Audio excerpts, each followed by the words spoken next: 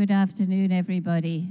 My name's Susan. I'm Curator of Education here at the Museum of Glass. And it's my great, great pleasure to introduce Walt, who's just walking off the hot shop floor, but he'll be back in a minute, I'm sure, to do a wonderful talk on the history of glass.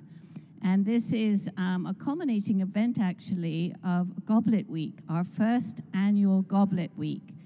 And we've been making fabulous goblets all week, featuring a variety of very distinguished artists here. And we took a lot of footage, so if you missed out, it will be on YouTube at some point soon. Um, and it's well worth watching because um, it's really, really hard to make these Venetian style goblets. So um, I'm, I'm going to talk a little bit about Walt, who I consider to be a foundation American studio glass artist. Um, he's been working in this field for over 40 years. He started at the Massachusetts College of Art in Boston. And he, of course, as you know, is our fabulous MC here in our hot shop. And we are so lucky to have him with the amount of expertise and experience that he has. And you might not know this, but Walt is also helping our curatorial department. He's going through every object in our collection and making little notes and writing down stories if he knows them. And um, it's going to be a wealth of information. So, Walt, as well as working here, um, is a frequenter of the Pilchuck Glass School, where he's been a scholar and artist in residence. He has taught glass and painting at Penland and Haystack. He has given workshops in England, Sweden, and Mexico, and he's internationally known as a glass painter. His work is in a variety of collections, inc including ours here um, in Tacoma, uh, the Corning Museum of Glass, and the Montreal Museum of Glass as well, of Museum of Fine Arts as well. And his artwork can be found at the Traver Gallery.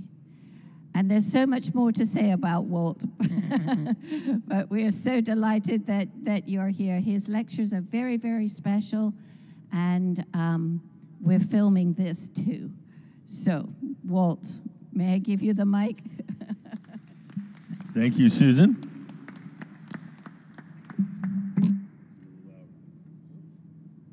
Everybody hear me? Yeah, okay, good. Okay, so as Susan said, this has been Goblet Week. We're making all sorts of goblets. I love goblets. What I'm going to show you today is really just the tip of the iceberg.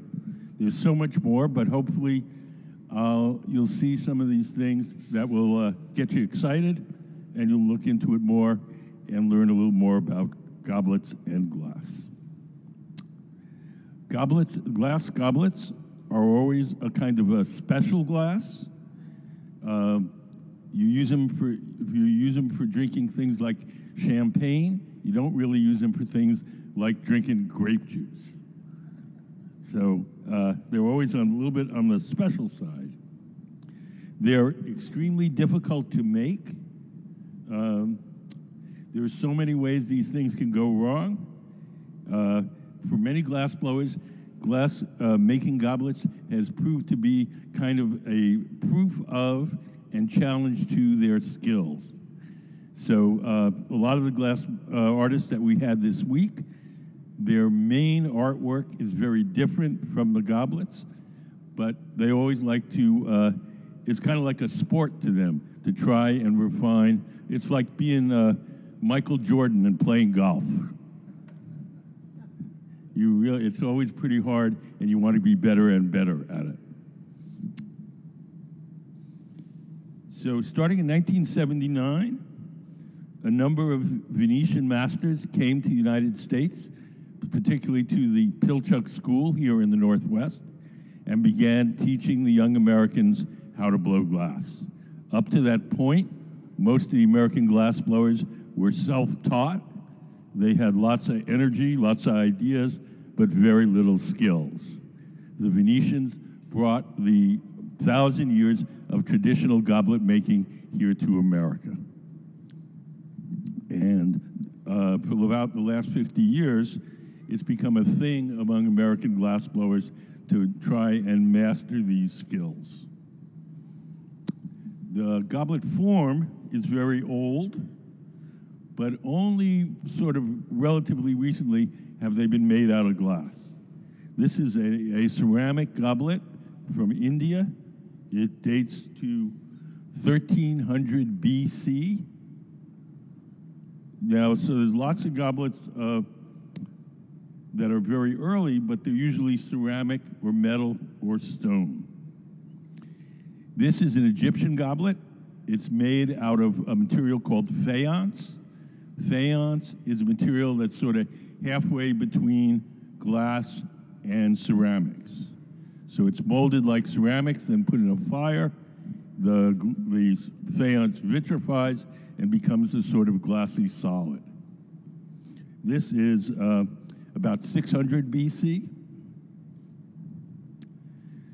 These are some terracotta goblets from uh, the Etruscans. These date from about 500 BC. So you see, you can recognize the goblet form, but you're still not getting around to actually making any glass goblets.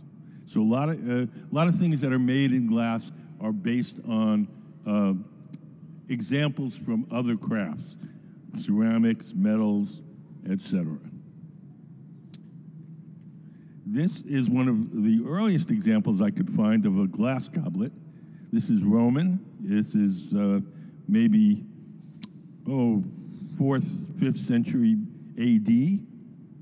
Um, there's a lot of glass, uh, Roman glass. It's mostly jugs, uh, cosmetic containers, pitchers, bottles, but very, very few goblets. This was one of the only ones I could find.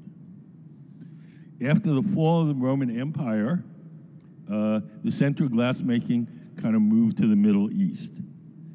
So this is a, a goblet from about 800 AD, and uh, we think it comes from either Iraq or Syria, and it's kind of one of, uh, modeled after one of those boots you'd see like in Aladdin or Arabian Nights with the little pointy curly toes. Um, let's see. These are also some Islamic goblets. These um, date from uh, about 1000 AD. Now, goblets weren't very popular in the Middle East, I think a great deal because most goblets are associated with alcoholic drinking, and the Islamic tradition prohibits the uh, drinking of alcohol. So we're really not going to see the goblets take off until the Venetians take over. This is a kind of goblet called a romer. Uh, it was made sort of in the Middle Ages in Europe, and those kind of bumpy little uh, additions on the side are called prunts, and they served a special function. At this time in Europe, in say 1000, 1100 AD, people ate meat with their hands. So their hands were always greasy. And so, in order for them to grip the goblet, they had these little prunts, and that gave them a little uh, friction. In 1200, Venice comes to the rescue for goblets. The Venetians first fled to the uh, Venetian lagoon to escape from invading tribes from Asia and Germanic tribes. The lagoon was swampy, it was uh, mosquito infested, and uh, they thought, what's the absolute worst place you could go that no one, even Attila the Hun, would follow you? And they said, ah, the Venetian lagoon. And they didn't follow them there, so they started to set up uh, shop on the islands, and because they were island living people, they started to uh, develop a maritime culture. And it turns out that that maritime culture became a huge boon, and they became the, the middlemen between Europe and Asia. So they would, they would deal with all the trades. They get spices and cloth from Asia, sell to Europeans, get manufactured goods, sell it to the Asians. And so they became very wealthy. They had a huge trading network. Venice at that time was uh, really an empire more than an island. They had uh, property all up and down the uh, Adriatic coast in Greece, in Crete, and so they were a big deal. Uh, in 1271, they set up a guild for making glass. They had special rules. They, um, for example, they could you couldn't import any foreign glass to Venice, and no one outside of Venetian natives was allowed to make glass in Venice. The Venetians refined the techniques of glass blowing. They became the best glass blowers in the world. They dominated sophisticated glassmaking from about the late 1200s to the 1600s. They had two claims to fame. One was their pure and simple designs, mostly based on the inherent uh, process of glass blowing. You can see on this beauty there, it's simple, it's uh, elegant. The other was they invented a special glass called Cristallo. They called it Cristallo because it was supposed to be so clear and beautiful that it looked like rock crystal. Rock crystal was a, a semi-precious stone which they made religious objects out of and very elegant type of things. And was, the Cristallo is said to have very special properties. It was said that if you drank poison out of a Cristallo goblet, that the goblet would, would render the poison harmless. So that's a good selling point if you lived in Renaissance Europe. They also mastered enameling on glass. This is a wedding goblet. These goblets were commissioned uh, on aristocrats' weddings. So one side of the goblet would have some kind of mythological or symbolic scene on one side, and the opposite side, they'd have a portrait of the couple. And uh, as I said earlier, glass was always used to imitate other materials. So the big colored blobs on the goblet on the left were meant to imitate jewels in a goblet that was like jewel encrusted. So the one on the right is onyx and gold, and it's uh, various stones inset into the gold uh, framework. And the goblet on the left is all glass, but the inspiration for those uh, jewels, it comes from the uh, metal goblet. So with all their uh, trade network and their skills, they became the best glassblowers in the world and the most prolific producers of goblets. This is a classic Venetian goblet from the 1500s. It uses uh, a decoration called Zanfirico. Um, it's rods of glass that have a twisted design in them. They're melted into a bubble, and they make twisted, fancy stripes.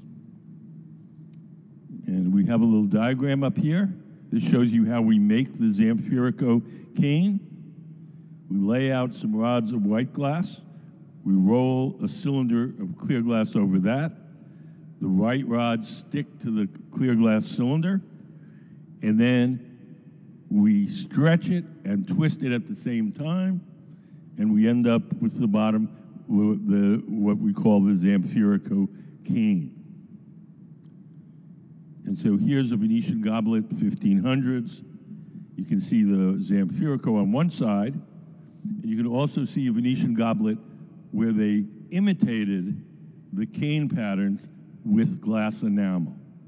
So all those things on the right side were painted on with a brush. On the left side, it's actual glass.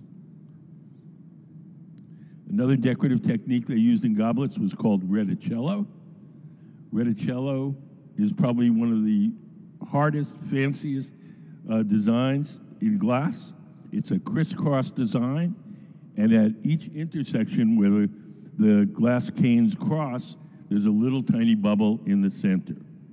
Rete in Italian means net, and uh, the Italians thought that the reticello looked like the little bubbles coming through a fishing net. And so that's what, what they called it reticello. And this is how the reticello is made. You make two bubbles out of cane, out of rods of glass.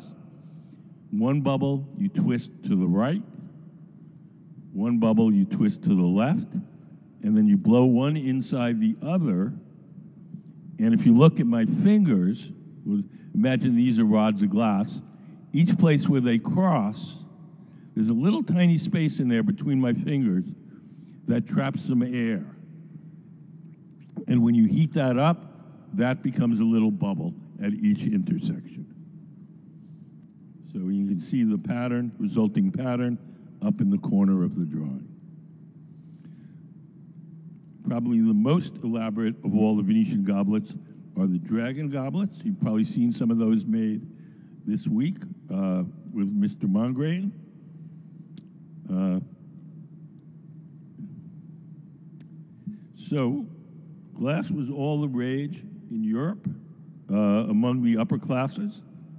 It was also very expensive. Uh, pretty soon, the, Venetian, the, the European nobles figured out that it was easier to buy a Venetian than it was to buy Venetian glass. So one by one, they lured Venetian glass blowers out of Venice to France, to Sweden, to England, set up their own factories, and made the glass in their own countries. So on the left, there's a uh, Dutch glass made in the Venetian tradition, but that's a Venetian glass blower working in the Netherlands. On the right is a Swedish glass, once again, a Venetian glass blower working in Sweden. Eventually, in these other countries, uh, after they, they kind of absorbed the technology from the Venetians, then they started to make their own uh, indigenous styles. But early on, uh, they made things just like they made in Venice, and it was called Façon de Venise, which means in the fashion of Venice. The Venetian glass sort of went out of style in the 1600s, and the kind of uh, heavy carved glass from Central Europe became the thing. You can see this is a Czech goblet. This is a, uh, a German goblet. It's cut and enameled.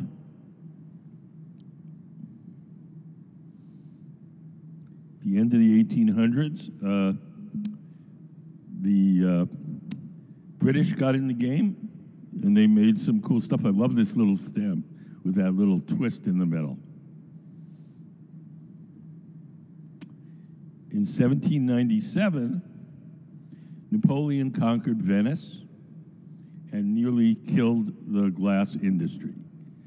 The French and the Austrians fought over Venice, and glassmaking went pretty much to a halt.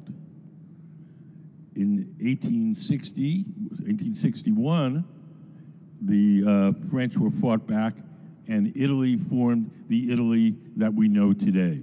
So all the little city-states, Milan, uh, Venice, uh, Firenze, uh, Florence, they all joined together and made uh, what we today call Italy.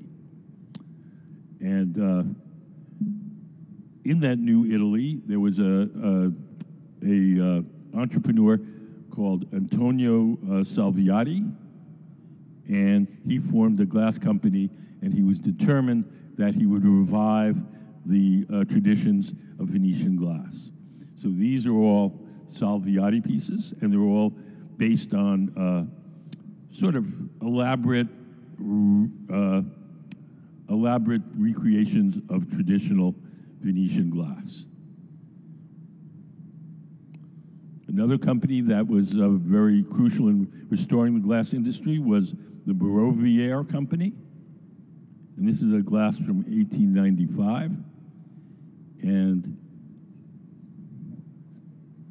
uh, when you're presented with glass with the same tools and uh, same processes, everybody sort of comes up sometimes with similar ideas. So the idea of putting some weird little thing in the middle of your goblet stem, it happens to everybody who ever learns to blow glass. This is a, uh, a wedding cup by Fritz Heckert, a Czech uh, glassmaker. And it's hinged at the top. I don't know if any of you could help me out. Why would that glass, little glass at the top be hinged? I haven't been able to figure that out. So the, the body is metal, the cup at the top is glass, it's enameled, and the skirt is enameled. But anyway, I thought it was an interesting piece. These are some glasses by uh, Carl Koping, Kerping. He's a, a, designer. He worked with a scientific glassblower, Fred Zitzmann. And Carl designed the glass, and Mr. Zitzmann actually made the models. So you can see one of the glasses. And these, these glasses were flame worked. They weren't made from the furnace. They were made over a table mounted torch, starting with pre made rods and tubes, just like you see uh, flame work today. Another approach to goblets was Louis Comfort Tiffany. We all know Tiffany lamps, Tiffany windows. These are what he calls his floriform goblets. And uh, they're very Art Nouveau. They have the sort of based on the forms that you would see in a plant, like a tulip or uh, something like that. This is by uh, uh, Fratelli Toso, the Toso brothers. This is one of my favorites. Very interesting stem. In the early 1900s, uh, there was a movement in uh, Austria called uh, the Vienna Secession, and they, were, they set up an organization called the Wiener Werkstatt, the, uh, the uh, Vienna Workshop, and they designed uh, glass and various other crafts, metals, woods, fabrics, and they usually had them made somewhere else. So these glasses were made in Czech Republic, but designed by Viennese artists. On the left is Otto Prutscher. On the right is the architect Joseph Hoffman.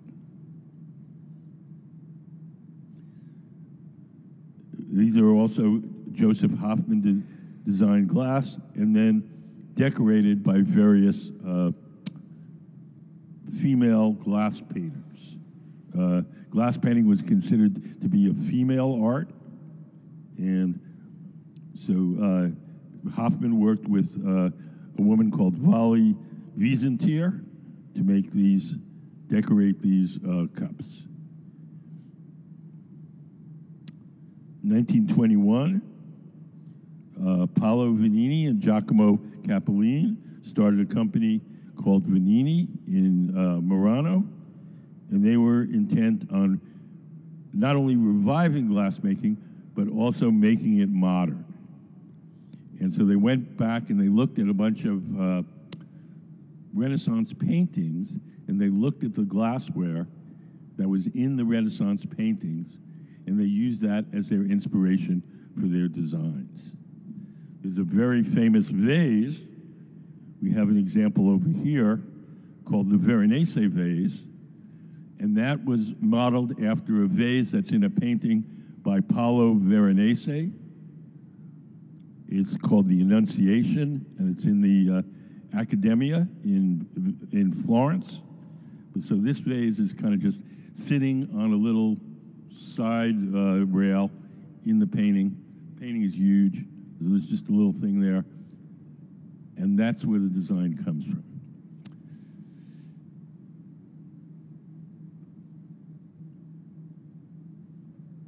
Can we take off the uh, caption?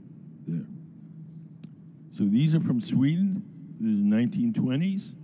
On the left, oh, both on the left and right are goblets by Simon Gate. On the left is one of my favorite goblets, the Palace glass. And on the right is a glass uh, for the Sandvik factory. These are a classic uh, 1920s. It's called the Queen Margarita. I'm not sure who did the first design. You'll see it made by a bunch of people, but Queen Margherita was the first queen of Italy, the new Italy that came in the 1860s. These are the ambassador glasses by Oswald Haerdtl, who worked for Moser, 1924. Very unusual. These are Bimini glasses. These are also flame worked. There was a, uh, gla- uh, a flame worker, Fritz Lampl, who worked in Austria. He was up until the time when the Nazis came. He was Jewish. Got chased out of uh, out of Austria and went set up shop in London. But these are all done flame worked over a torch. Now we're in America, 1927, when uh, a small glass company, Consolidated Glass in Pennsylvania, hired a uh, cubist sculptor by the name of Reuben Haley to design a whole range of glasswork. And so these were all mold blown. They were uh, a great artistic success and a terrible financial failure. So, but now today you'll see them in museums all over the world, but they didn't do so well in stores. This is unusual pieces by Guido Balsamo uh, Stella for Pauly and C, 1928, and this is, this strikes me because it um, it looks so modern. If you saw this in an exhibition of modern glass blowers, you wouldn't blink an eye. But this is, all, you know, almost 100 years ago. These are also by uh, Balsamo Stella, 1930. This is by Tommaso Buzzi for Venini. And uh, this is a special one for the glass blowers in the crowd, if they can figure out how these were made. I don't know, do we have any glass blowers? Want to take a guess? No volunteers? Okay. So this is 1937 Art Deco. Uh, Ludvika Smrčková, a Czech glass artist. This is another one of my favorites. This is Baccarat, the French glass company. Sometimes the simplest things are the best. These are some whimsical glasses for Venini. Uh, cornet glasses, they're called. They're supposed to be horns, the glass horns, by Piero Fornasetti. This is a uh, what's called the the uh, Filigrana di Tapio.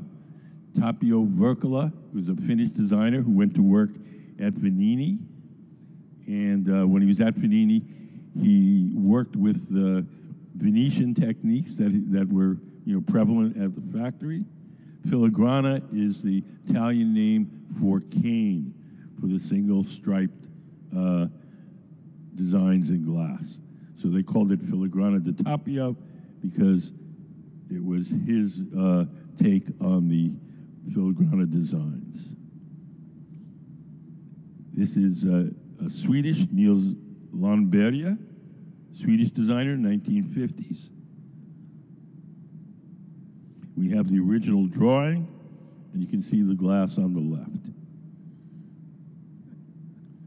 These are some spring cups. Up in the upper left-hand corner is some cups made by uh, Bagley, which is an English firm. And then on the right, we have cups made by our own Northwest Buster Simpson, if you guys are familiar with him, made at the Pilchuck School. Uh, Buster Simpson cups were made with real uh, bed springs. So they were the springs that, that they took out of mattresses.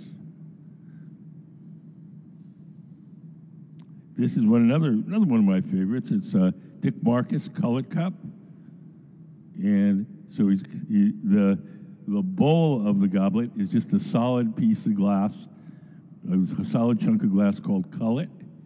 And the stem is a traditional air twist. It's a uh, very traditional English decoration, but there's something cool about it. These are some uh, goblets designed by uh, Dante Marioni, who we had there this week. These were his designs for Steuben. Steuben went through a series of hiring uh, low contemporary glass artists, and apparently these did very well, but Steuben did not survive. Um, they've since closed. Oops, one more. This is uh, James Mongrain, who we had here as one of our guests on Thursday. And his take on the uh, dragon goblets. These are a collection, a co collaboration between James Mongrain and myself. These are floating uh, martini glasses for drinking martinis in the bathtub. And so they came in, in sort of uh, three parts. So we have the, the glasses, which were just sat in there with gravity. Then we had the float, and then we had a little stand so that when you could get out of the, the bath gracefully and place them in the stand. So me and Jim had, this was 1998, so quite a ways ago. This is uh, also by me, 1980s. This is my rock crystal. I made these as a demonstration for John uh, James Houston, the Steuben designer. He didn't uh, think it was too funny, but I did. So.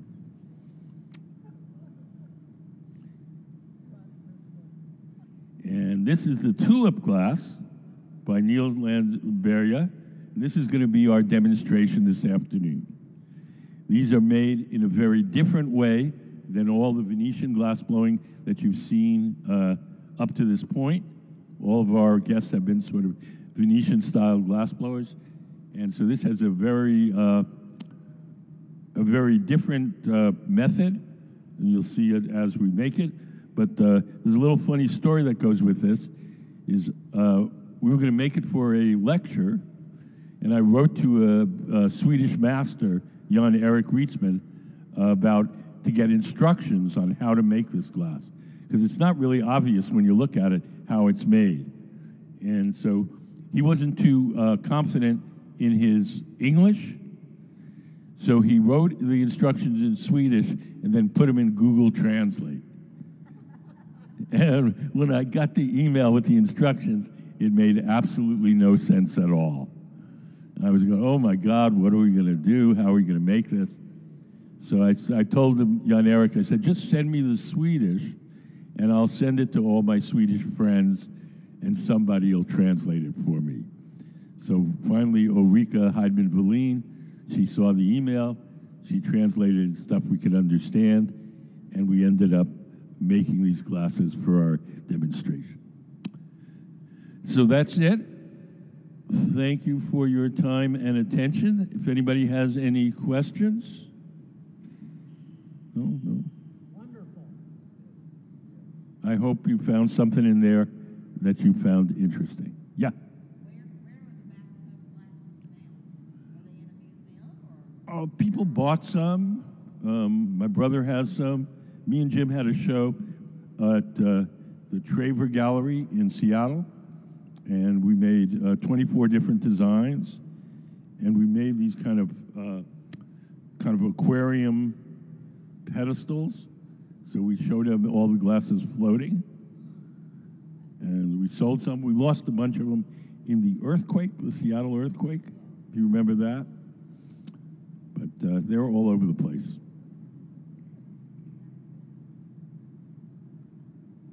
Well, thank you for your time.